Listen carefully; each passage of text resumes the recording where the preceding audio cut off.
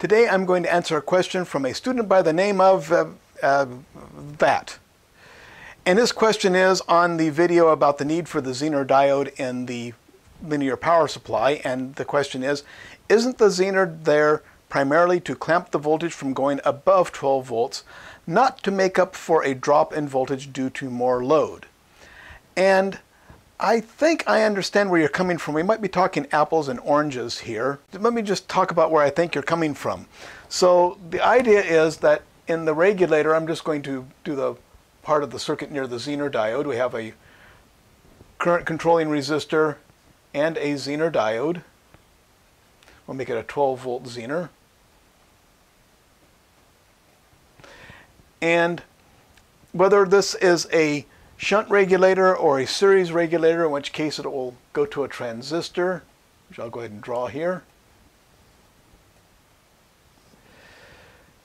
The fact is, the voltage across the Zener diode can go below 12 volts. The Zener diode will change its resistance to whatever it takes to make the voltage across it 12 volts. But if we don't have 12 volts to start with, we can't get 12 volts across the Zener. So if we have less than 12 volts, we're going to have less than 12 volts across the Zener. But once this reaches 12 volts, now this goes above 12 volts, this will remain at 12 volts. That will clamp the voltage there. So I see where you're talking about uh, clamping the voltage. Yes, it will clamp the voltage at 12 volts, but not to make up for a drop in voltage due to more load.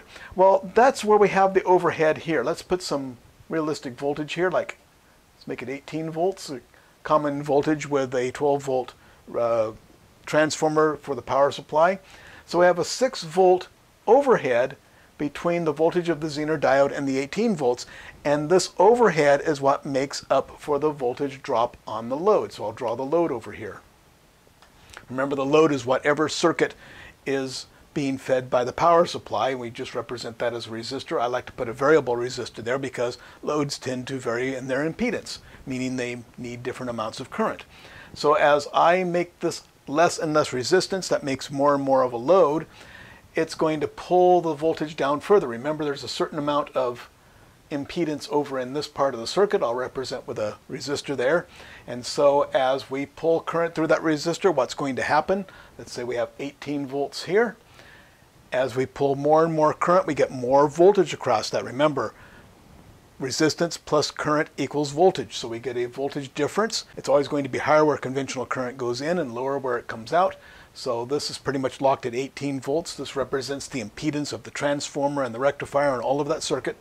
And so as we pull current through that impedance, we're going to get a voltage difference and it's going to be lower here, pretty much locked at 18 volts here. So it's going to get lower and lower and lower. So the more current we pull through the load, the lower this is going to be.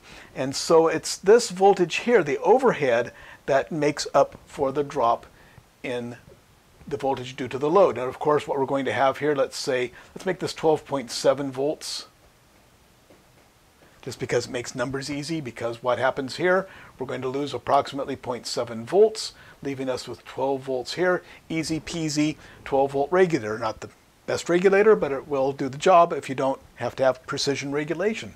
So there's a quick regulator and so once again, yes, this does clamp the voltage from going above 12.7. So you have a good way of putting it there. The overhead here is what makes up for the drop in the load. So as this goes down, the more current, the lower this will go, 18, 17, 16, 15. And when this finally gets down to 12 volts, that's the limit.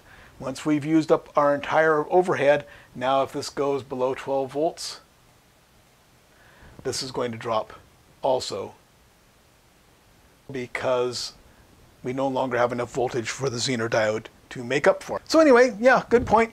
Uh, another way to put it, it's always a good way to look at things from one angle than another angle and that's certainly a perfectly good valid angle. So I hope that answered your question and keep those questions coming. I answer as many as I have time for and sometimes other people come along and answer them for me. If you found this video useful and informative, please give me a thumbs up down below. It really helps the channel. And subscribe because that not only informs you when I put new videos up, but it really helps the channel also. And a big thank you to my patrons at Patreon. I could not make these videos without your support. If you want to help me put these videos online and keep real vocational education free at vocademy.net, you can go to Patreon slash join slash vocademy and pledge your support.